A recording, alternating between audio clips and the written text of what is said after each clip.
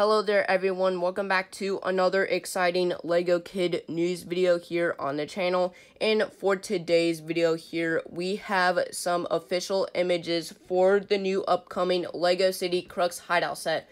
So these are a little bit blurry, but anyways, this here is set number 60278 retailing for about $100 in US. It comes with 654 pieces and around 7 or 8 minifigures. So, yeah, basically here we get two police vehicles. One is this huge, massive helicopter. We also get an abandoned, like, warehouse for the criminals, a little getaway car as well, and we also have a police van as well. So, yeah, basically for the build of the helicopter here, I like the use of one of these light bricks on the side of it being used as, like, a little searchlight.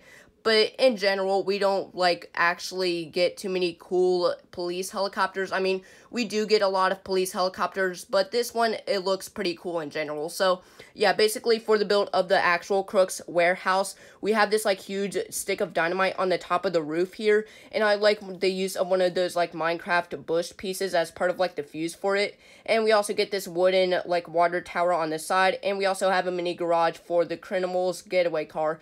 And then for one feature here, you can use the police van to actually knock down the front of, like, the actual Crooks hideout, which I do like that feature.